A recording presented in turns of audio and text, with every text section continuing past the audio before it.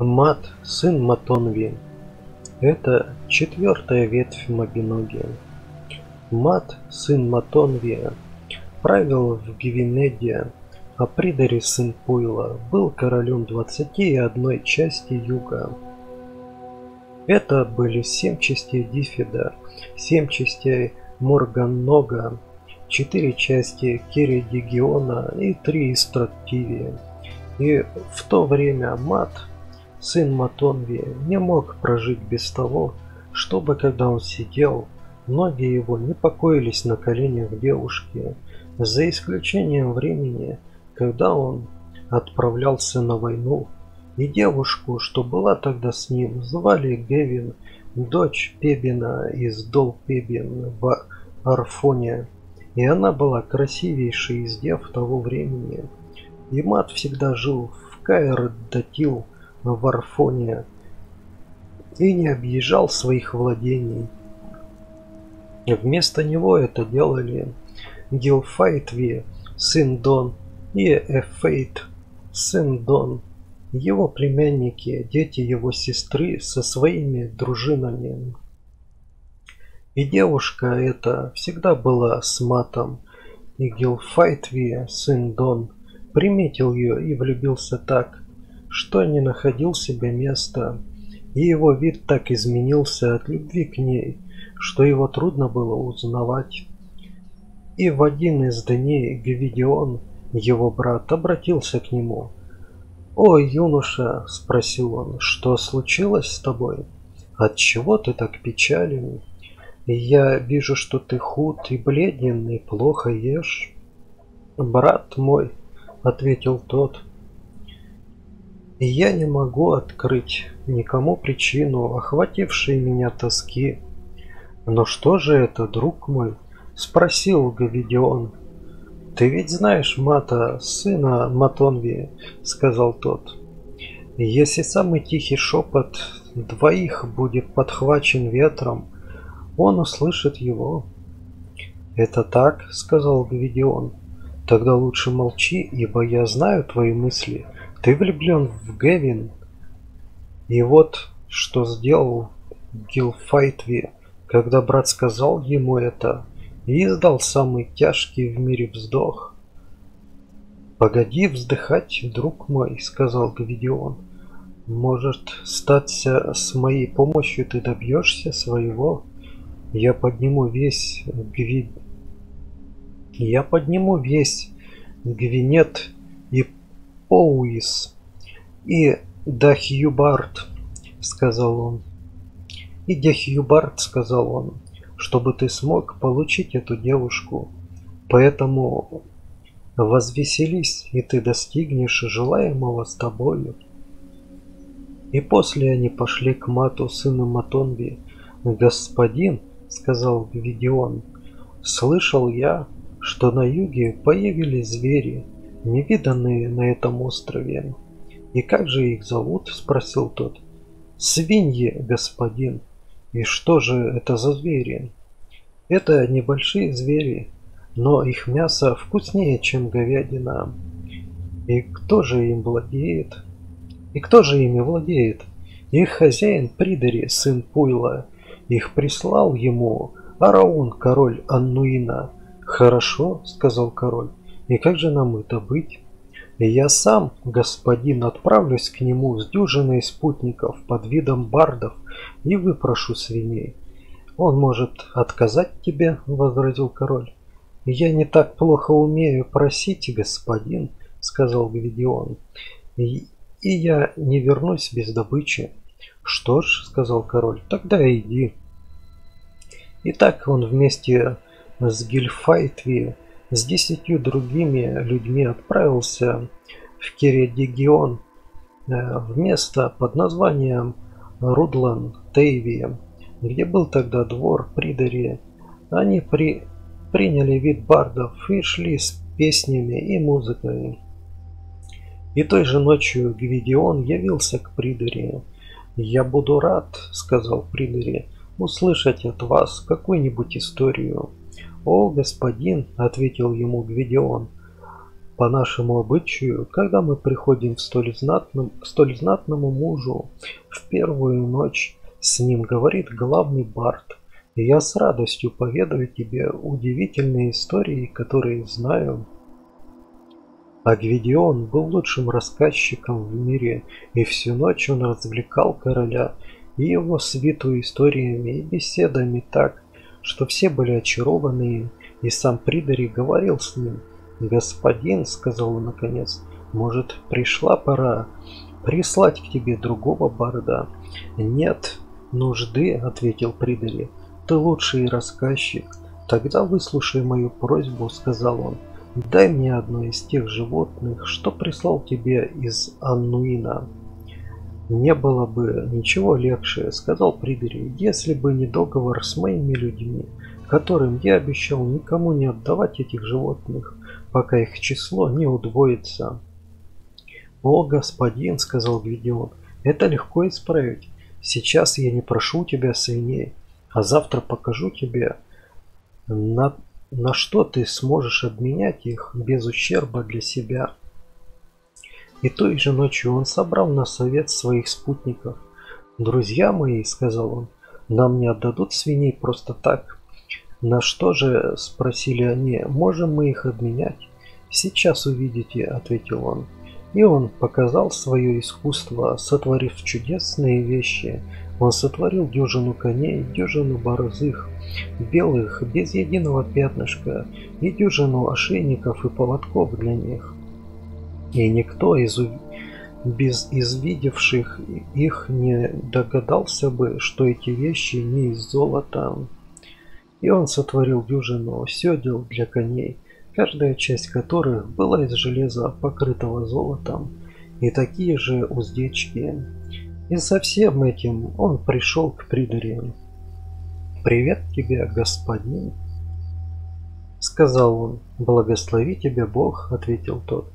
«Господин», — сказал он, — «ты сказал мне прошлой ночью, что не можешь ни продать, ни подарить своих свиней. Но ведь ты можешь обменять их, и я дам тебе за них эту дюжину коней, которых ты видишь, и их седла с уздечками, и дюжину борзых, и их ошейники с поводками, и дюжину золоченых щитов, что ты видишь там. Щиты же он обратил шляпки грибов. «Что ж», — сказал Пригори, — «нам надо посоветоваться». И он созвал своих людей на совет – и они порешили отдать свиней Гвидиону и взять за них коней и собак и щиты. И они отправились в путь, захватив с собой свиней. «Друзья мои», — сказал Гвидион, — «нам придется поспешить. Волшебство сохранит силу лишь до утра, и той ночью они дошли до высочайшего места Кередигиона, которое по этой причине получило имя Мох-Древ. На другой день они про продолжили путь, прошли через Эленит и к ночи оказались между Керри и Арвистли, в месте, которое тоже называется с тех пор Мохдрев. И потом они отправились дальше и дошли до места в Поусе, что зовется поэтому Мохнант, и заночевали там. И после они дошли до Кантри Фрос. И вместе их ночевки после возникла деревня, называемая также Мохдрев. «О, друзья!» — сказал Гвидион. «Мы должны скорее достичь с этими животными Гвинеда, ибо за нами уже отправилась погоня». И они дошли до высочайшего места Арлехведа и устроили там загон для свиней. Поэтому деревня, появившаяся там, стала называться Креувирион. И после этого они пришли к Мату, сыну Матонви, который ждал их в Каэр-Татил, и они нашли короля и народ в волнении. «Каковы ваши новости?» – спросил Гвидион. Придари отправил 21 отряд Отряд воинов за вами, ответил ему. Ответили ему. Странно, что они не нагнали нас. Где же те животные, за которыми вы ездили? Спросил Мат. Они укрыты в загоне недалеко отсюда, сказал Гвидион. И тут они услышали звук рога, призывающий к оружию, и вместе с войском отправились к пене... а, и вместе с своим войском отправились к Пенарду в Арфоне. Но той же ночью Гвидион, сын Дон, и Гилфайтви, его брат, вернулись тайно в Каэр-Датил, и Гилфайтви соединился с Гевин, дочерью Пебина на ложе короля Мата против ее воли. И утром следующего дня они вернулись в то место, где был Мат, сын Матонги, с, войском со своим. И собрался совет с их участием, чтобы решать, на какой стороне горы лучше встретить придари и людей юга. Было решено собрать войска Гвиден... Гвинеда в Арфоне и расположить их между двух селений Минаур-Пенарт и Минаур-Коэт-Алуи. И Придари напал на них, и в битве обе стороны понесли тяжелые потери, и люди юга отступили к месту, которое называется Нанткал. Воины Гвинеда преследовали их и убили великое множество и они бежали до моста, называемого Дол Пенмаем, где они остановились и решили просить мира. И Придари отправил посланцев для заключения мира. Это были Гордия, Гвастра и 24 знатных юноши. И он также предложил Мату вместо поединка воинов устроить поединок между ним самим и Гвидионом, сыном Дон, который был главным виновником раздора. Это предложение дошло до Мата, сына Матонги. «Клянусь Богом», — сказал он, — «если Гвидион, сын Дон, захочет этого, то я соглашусь, но я никогда не буду заставлять кого-либо сражаться за себя». Придарест читает, — сказали посланцы, — что будет справедливо, если человек, обманувший его, встретиться с ним в поединке, дабы не подвергать опасности жизни других. Но я не стану побуждать моих людей сражаться, пока я сам не выйду на бой с Придари. Я с удовольствием померяюсь с ним силами. И этот его ответ передали Придари. «Что ж», — сказал он, — «я тоже никого не заставлю, не заставлю защищать свою честь, пока могу сделать это сам». И они вооружились и встали друг против друга и начали бить, бить сям. И мощью Гвидиона, соединенной с чарами, Придари был сражен. Его похоронили в Маем Тивак у подножья Филиндрик, и там была его могила. И люди юга похоронили песнями, отправились.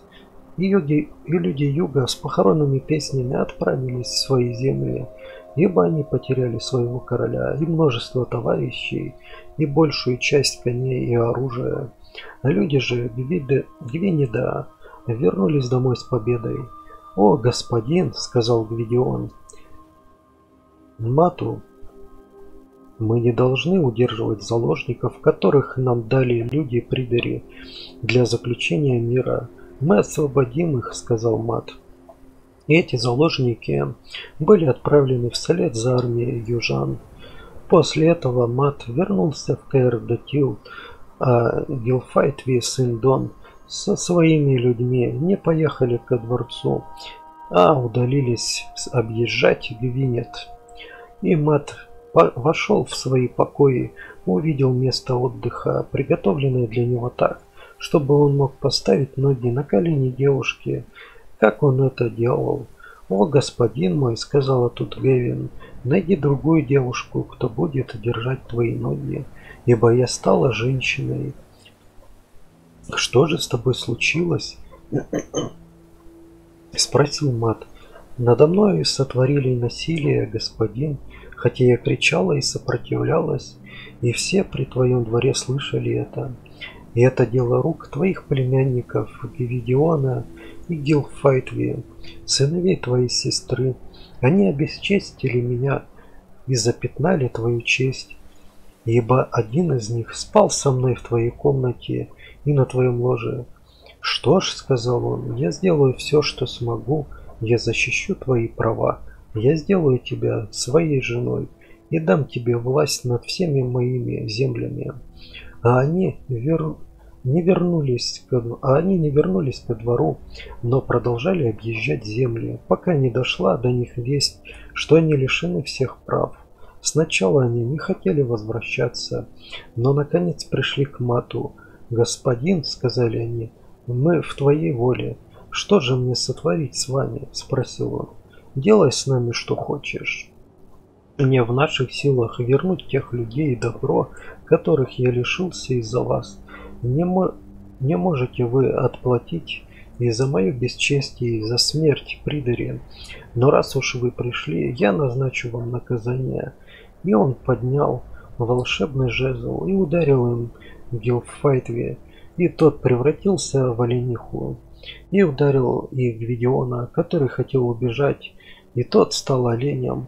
В наказание я велю вам жить вместе, как диким зверям, облик которых вы приняли, и у вас будет то же потомство, что и у них. Через год, в этот же день, вы придете ко мне. И ровно через год он услышал шум за стенами дворца и лай собак. «Посмотрите, что там!» – велел он слугам. «Господин», – сказали ему, – «там олень с оленихой и с детьми ихними». Услышав это, он встал и вышел на крыльцо. И там он увидел трех зверей – оленя, олениху и прелестного олененка. И тогда он поднял свой жезл. Тот из вас, кто был этот год оленихой, станет диким кабаном, а тот, кто был оленем, станет свиньей. Сказал он и ударил их железом. Но детеныши я беру на воспитание – и он дал ему в крещение имя Хиддин. Идите же и будьте животными, в которых я обратил вас, а через год приходите ко мне в этот же день вместе с потомством. И через год он услышал лай собак и шум за дворцовые ограды. Тогда он встал и вышел наружу, где увидел трех зверей. Это были дикий кабан, дикая свинья и с ними маленький поросенок. «Что ж», — сказал Мат, — «я возьму его и воспитаю». И он ударил поросенка волшебным жезлом, и тот превратился в прекрасного юношу с каштановыми волосами. И в крещении он получил имя Хиктин. Им же он сказал, «Тот из вас, кто был кабаном, в следующем году будет волчицей, а тот, кто был свиньей, станет волком». И он ударил их жезлом что они превратились в волка и волчицу. Вы будете носить облик этих зверей в течение года. Через год приходите сюда. Приходите сюда же вместе с вашим потомством. И в тот же день, год спустя, он услышал шум и лай собак за стенами дворца. Он встал и вышел наружу, где увидел волка с волчицей и с ними здорового и сильного волчонка. «Я возьму его», — сказал он, — «и воспитаю, и у меня есть уже имя для него. Пусть он зовется Бледдин. Теперь у вас уже трое потомков, и они, трое ложных сынов Гилфайтви, увидят своей доблестью мир. Бледдин, Хиддин и Хигдин Хир и после этого он коснулся их обоих волшебным жезлом, и они обрели свой прежний, свой первоначальный облик. «Люди», — сказал он, — «если вы сделали мне зло, то вы искупили его, и за позор, причиненный мне, вы оплатили своим позором. Приготовьте же для них баню, и вымойте их, и оденьте». И это было сделано для них. И одевшись, они пришли к королю. Люди сказали... Люди, сказал он им, вы заслужили прощения, и я одарю вас своей дружбой, если вы посоветуете, какую девушку могу я приблизить к себе. Господин, сказал Гвидион, сын Дон, я с легкостью скажу, что это Ариандрот. Что это Арианрод, дочь Дон, твоя племянница. И ее привели к нему, и она вошла. «О, дева!» – спросил он ее. «Девушка ли ты?» «Я не знаю, господин, кем же я могу быть?» Тогда он взял волшебный жезл и положил его на пол. «Перешагни через него», — сказал он. «И если ты девушка, я увижу это». И она перешагнула через жезл. И тут позади нее вокруг возник золотоволосый младенец, которого подня... который поднял крик. Услышав этот крик, она выскочила в дверь и по дороге выронила какую-то вещь. Но прежде чем это было замечено, Гвидион подобрал эту вещь, за, вещь, завернул в шелковый платок и спрятал в маленькую шкатулку, что была вы, вделана в ножку его кровати. «Что ж», — сказал Мат, сын Матонви, — «я воспитаю этого младенца и дам ему имя Дилан». Мальчик был крещен и сразу вслед за этим нырнул в море. Он был морской породы и плавал лучше любой рыбы, потому его прозвали Дилан Айлмур. Удар, что оборвал его жизнь, нанес ему, его дядя Гофанон, и это был один из трех коварнейших ударов. В один из дней Гвидион лежал в постели и вдруг услышал плач, который раздавался из спрятанной им шкатулки. Он расслышал его, хотя плач был тихим. Тогда он быстро встал и открыл шкатулку, и в ней увидел маленького мальчика, тянущего к нему ручонки из шелковых складок. И он достал мальчика оттуда, взял его и отнес в город, где отдал его на воспитание одной женщине – у которой мальчик пробыл год. И через год он, они удивились быстроте его роста, ибо он выглядел как трехлетка. А в конце одного, второго года он вырос настолько, что смог прийти ко двору. И когда он пришел туда, Гвидион сам стал заботиться о нем, и мальчик привязался к нему и полюбил как отца. Он оставался при дворе, пока ему не исполнилось 4 года, и в этом возрасте он выглядел на 8 лет. И однажды Гвидион с мальчиком отправились в Каир Арианрод. И когда они пришли туда, Арианрод встретила их. «Что это за мальчик с тобой?» – спросила она. «Это твой сын», – ответил Гвидион.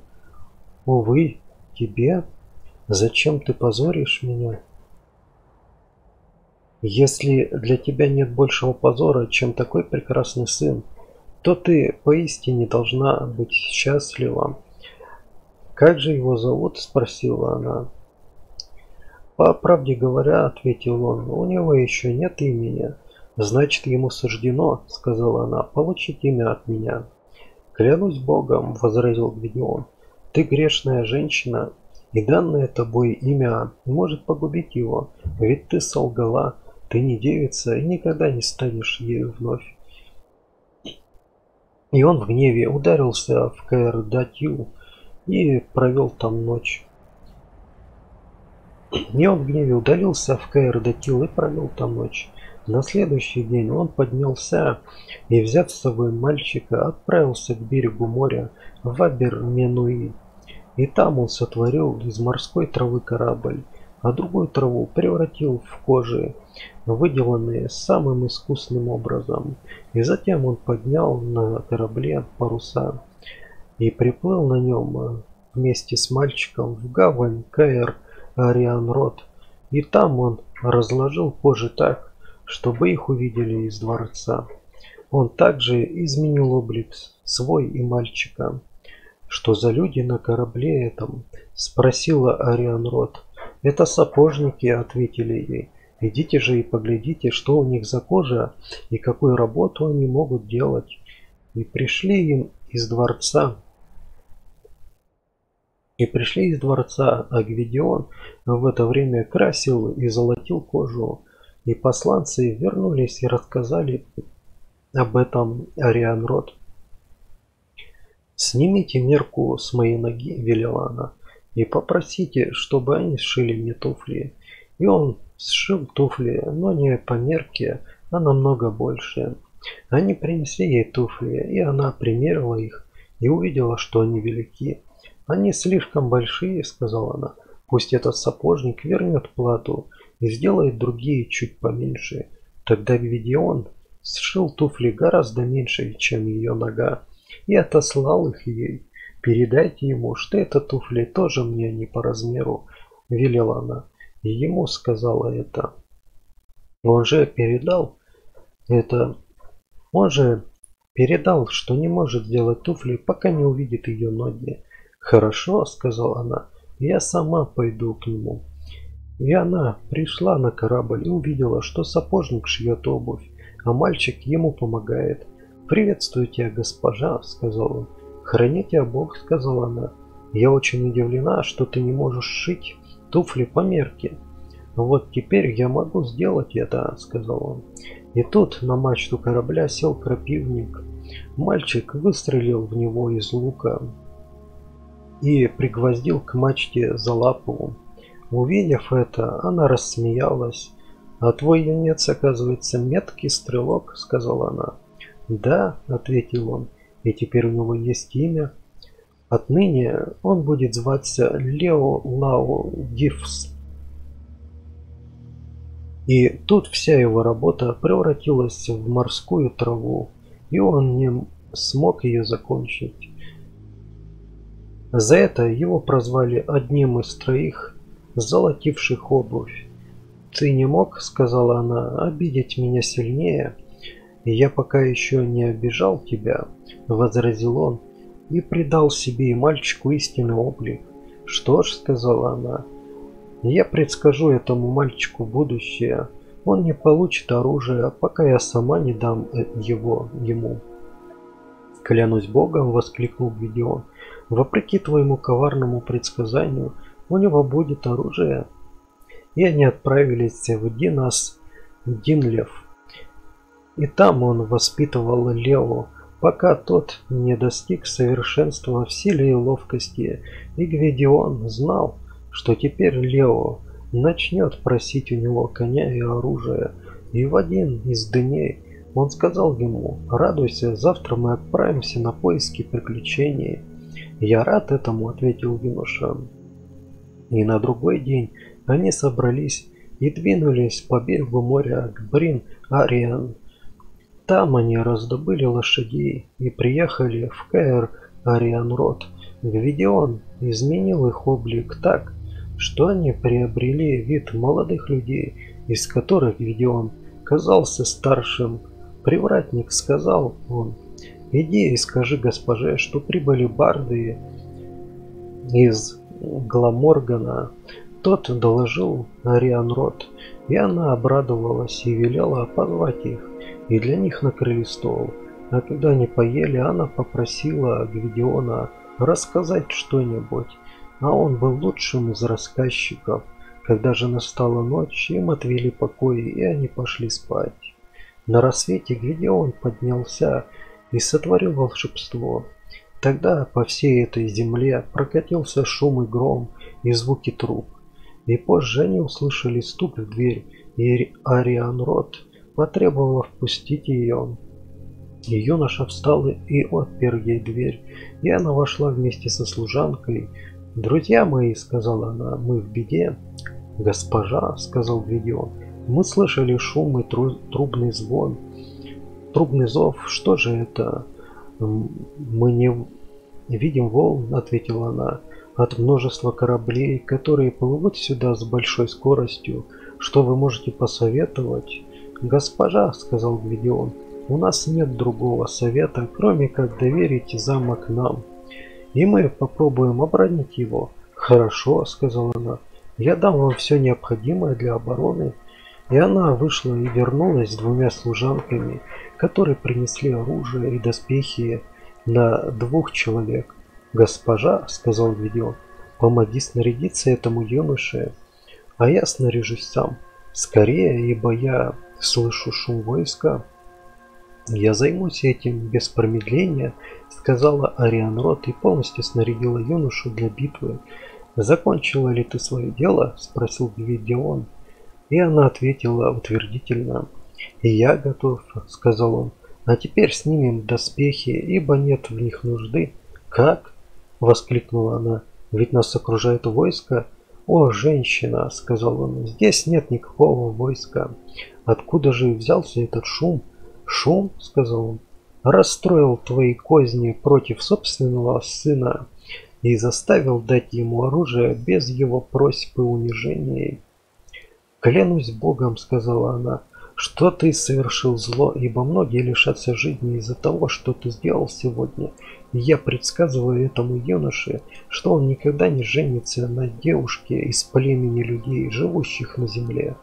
«Поистине», — сказал он, — «ты злобная женщина, но своего ты не добьешься, ибо он найдет себе жену, и они пришли к Мату, сыну Матонви, и рассказали ему о том, как они добыли оружие у Арианрод.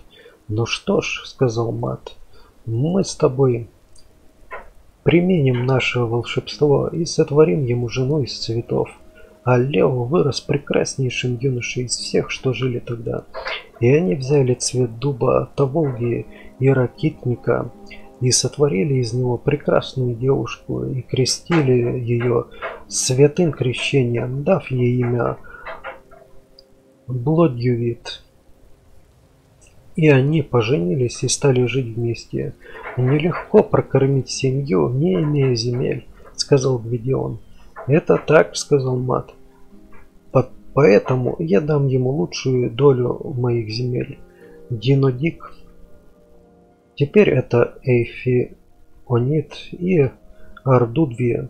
И Лео выстроил дом и вместе называемым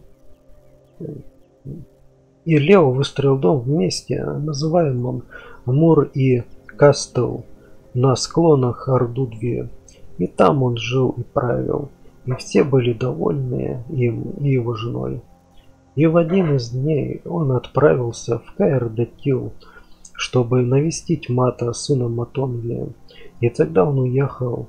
И когда он уехал, жена его вышла из дома на прогулку и услышала в лесу звук рога. Вслед за этим мимо пробежал олень, а за ним собаки и загонщики. Следом скакал человек на лошади. «Пусть слуга пойдет», — велела она, — «и узнает, кто это». Слуга пошел и спросил об этом. «Это Грона Пебер, владетель «Владетель Пенлина», — ответили ему, и он передал это госпоже. И этот человек погнался за оленем, и у реки Кинфайл догнал его и сразил, и он пребывал там до заката, разделывая оленя и бросая куски собакам. И на исходе дня, когда солнце садилось, он подошел к воротам дворца. «Он обидится», — сказала она, — «если в столь поздний час мы не пригласим его войти». «Это так, госпожа», — сказали все, — «нам надо пригласить его». И слуги отправились к нему, и он с радостью принял приглашение и вошел в дом. Она встала и приветствовала его. «О, госпожа», — сказал он, — «Бог воздаст тебе за твою доброту». Они сели ужинать, и как только Блодьювит взглянула на него, она не могла уже не, не думать о нем. И к нему когда он посмотрел на нее, пришли такие же мысли. Он не мог скрывать своих чувств к ней и открылся, и она возрадовалась, и они завели нежный разговор. Соблазн был слишком велик, и в ту же ночь они легли спать вместе. И на утро он собрался уходить, но она упросила его остаться до ночи. Ту ночь они тоже провели вместе и задумались о том, как они могут соединиться. «Есть лишь один способ», — сказал он. «Это выпытать у Лео, каким способом можно его извести. И тогда мы убьем его». И на другой день он вновь собрался уходить. «Я не хочу, чтобы ты уходил сегодня», — сказала она. «Раз ты не хочешь», — сказал он, — «я не уйду. Но есть опасность, что твой муж скоро вернется». «Завтра», — сказала она, — «я позволю тебе уйти». И когда на следующий день он стал собираться, она не удерживала его. «Помни», — сказал он, — «что я говорил тебе и узнай от него под видом любви и заботы, от чего может настать его смерть». И той же ночью Лео вернулся домой, и они веселились и беседовали, а когда легли спать, он обратился к ней, но не получил ответа. «Что с тобой?» – спросил он ее. «Здорова ли ты?» «Я думаю», – сказала она, – «о том, что будет, если ты умрешь раньше меня. Благодарю тебя за заботу», – сказал он. «Но пока не захочет Бог, я вряд ли смогу умереть. Ради Бога и меня, и меня скажи, от чего может настать твоя смерть, дабы я могла предохранить тебя?» «Что ж, я расскажу тебе», — сказал он. «Меня можно убить только ударом копья, которое нужно закаливать ровно год. И убить меня этим копьем можно только во время воскресной мессы. Неужели это так?» Притворно удивилась она. «Да», — ответил он. «И меня нельзя убить ни в доме, ни на улице, ни пешим, ни на коне». «Так же тебя можно убить?» – спросила она. «Я скажу тебе», – ответил он. «Нужно сложить для меня баню на речном берегу, окружив котел с водой, плетеной оградой и закрыв его соломенным навесом. Потом надо привести козла и поставить его в бане. И когда я поставлю одну ногу на край котла, а другую на спину этого животного, всякий, кто застигнет меня в таком положении, может убить меня. «Я благодарю Бога», — сказала она, — «что ты легко можешь избежать этой смерти». И вскоре после этого разговора она послала весть о нем Грону Пеберу. Грона начал закаливать копье, и в этот же день, через год, оно было готово, и он дал ей знать об этом.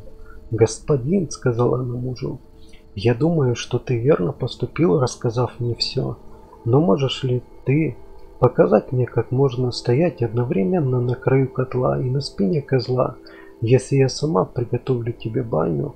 Хорошо, я могу тебе показать, сказал он. И она послала за Гронном и велела ему спрятаться на вершине холма, что зовется ныне Брин Кефергир. Это было на берегу реки Кинфайл, и она собрала всех коз в округе и пригнала их к реке. И на другой день она пришла и сказала, «Господин, баня для тебя готова». «Что ж», — сказал он, — «пойдем и посмотрим». И они при... отправились смотреть баню. «Будешь ли ты мыться?» – спросила она его. «Конечно», – ответил он и вошел в баню и стал мыться. «Господин?» – спросила она опять. «Точно ли животное, о котором ты говорил, зовется козлом?» «Да», – сказал он. «Поймай его и приведи сюда». И она сделала это. Тогда он вылез из воды и поставил одну ногу на край котла, а другую на спину козла. Тут Грона сбежал с холма, называемого Брин Кефергир, встал на одно колено и метнул отравленное копье и поразил Лео в бок так, что древко копье, что древко копья отлетело, а наконечник застрял в теле. Тогда Лео взмыл в воздух во плече орла и издал крик отчаяния. И никто после этого не видел его. Когда это случилось, они вернулись в дом и эту ночь провели вместе. На следующий день Грона встал и объехал Ардудве, и он завладел этой землей и отправил и правил ею. И Ардудве с Пенелином оказались в его власти. Новость эта дошла до Мата, сына Матонги, и опечалила его, а еще более Гвидиона. «Господин», — сказал Гвидион, — «я не найду покоя, пока не узнаю что-либо о моем племяннике». «Что ж», — сказал Мат, — «пусть тебе поможет Бог». Гвидион покинул Каэрдатил и пустился в странствие, и обошел он весь Гвинет и Поунс до самой границы и, наконец, пришел в Арфон, где остановился на ночлег в Минаур-Пенарт, в хижине бедняка. И когда он был там, в дом вошли хозяин и его семья, а последним зашел свинопас. «Эй, парень!» – спросил Гвидион. «Вернулась ли твоя свинья?» «Она вернулась, господин», – ответил тот. «И уже в свинарнике?» «Куда она уходит пастись?» – спросил опять Гвидион. «Она убегает каждый день, как только откроет свинарник, и никто не видит, где она пасется до самого вечера». «Прошу тебя», – сказал ему Гвидион, – «не открывай завтра свинарник, пока я не приду туда вместе с тобой». «Хорошо, господин», – сказал свинопас. И той ночью они спали, а на рассвете свинопас поднялся и разбудил Гвидиона. Тот оделся и пошел за свинопасом к свинарнику.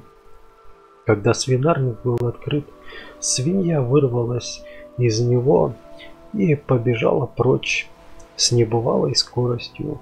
Гвидион бежал за ней до лощины, которая ныне зовется Нанталео, и там свинья остановилась и стала пастись. Гвидион встал рядом и стал смотреть, что она ест. Он... Она подбирала падали червей. Тогда он взглянул на вершину дерева и там увидел орла. И когда орел хлопал крыльями, вниз летели черви и куски падали, которые подбирала свинья. И он подумал, что этот орел Лео, и произнес такой энглин. Дуб растет между двух озер, Красотою радуя взор. Если я говорю не лживо, То мой сын на его вершине. Тогда орел слетел чуть пониже И уселся на ветку, словно слушая, И Гвидион сказал другой Энглин. Дуб растет высоко в горах, Он исхлестан злыми ветрами, но зато не сгнил под дождями мой сын Лео в его ветвях. И после этого орел слетел на самую нижнюю ветку. Тут Гвидион спел еще один англин. Дуб красуется в вышине, ветви вытянув над обрывом. Если я говорю не лживо, мой сын Лео придет ко мне. И орел спустился к ногам Гвидиона, который тотчас ударил его волшебным жезлом, и он приобрел свой истинный вид.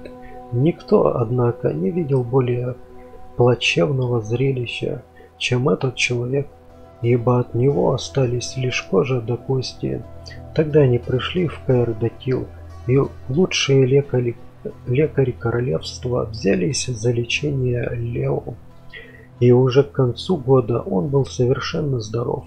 «Господин», — сказал он Мату, сыну Матонби, — «пришло мне время отомстить человеку, который хотел погубить меня». «Поистине», — сказал Мат, — «ему не уйти от возмездия». «Чем скорее я войду в свои права», — сказал Лео, — «тем будет лучше». И, они собрали войско Гвинеда и двинулись в Ордудве. Гвидион шел впереди и был уже в Мур и Кастел. Когда Блодьювит услышала об их приближении, она взяла с собой служанок и поднялась на вершину холма. И через реку Кинфайл они смотрели на приближающиеся войска и пятились в страхе, пока не свалились в озере, в озеро, и все утонули, кроме нее. Ее же вытащил Гвидион и он сказал ей, «Я не стану убивать тебя, но сделаю нечто худшее. Я обращу тебя в птицу, и из-за горя, что ты причинила Лео Лао Гифсу, ты никогда больше не увидишь солнечного света, и все птицы будут ненавидеть тебя и бить и клевать, если обнаружат, и ты не лишишься своего имени, но всегда отныне будешь называться Бладьювит, И сейчас Блодьювит – это сова на нашем языке. И все птицы враждуют с нею. И до сих пор валийцы зовут сову Блодьювит. А Гроно Пебер бежал в Пенлин и оттуда прислал послание. Вот что он передал. Он спрашивал Лео Лаугивса, может ли он отплатить ему земле, землей или владениями, золотом или серебром за свою вину. «Нет, клянусь Богом», — ответил Лео, — «единственное, чего я требую от него, чтобы он пришел туда, где стоял в тот день я, а я встал бы там, где стоял тогда он, и бросил бы в него копье, и только такую плату приму я от него». Это передали Грону Пеберу. «Что ж», — сказал он, — он вправе требовать этого. Мои воины, родичи и побратимы, есть ли среди вас кто примет этот удар за меня? Спросил он. Но все они отказались.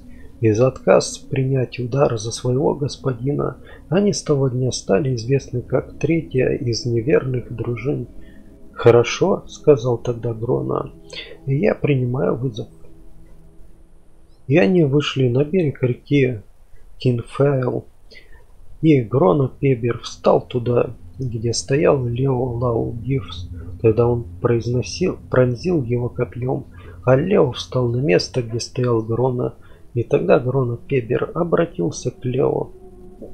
«Господин», — сказал он, — «поскольку лишь по наущению женщине пошел я на это дело, заклинаю тебя, Позволь мне поставить камень, что я вижу на берегу между тобой и мной. Хорошо, сказал Лео. В этом я тебе не откажу. Да воздаст тебе Бог, сказал Гроно. И он взял камень и поставил между собой и Лео. И Лео метнул в него копье, и оно пробило камень, и его тело так, что переломило ему хребет, так погиб Верона Пебер. А этот камень до сих пор стоит на берегу реки Кинфайл в Ардудве с дырой посередине. Поэтому его называют Олег Гронви и Лео Лау Гивс. Во второй раз вступил во владение своей землей и правил ею в мире и процветании. После же, как говорит история, он сделался королем Гвинеда, и таков конец этой ветви Мабиноги. Мабиноги.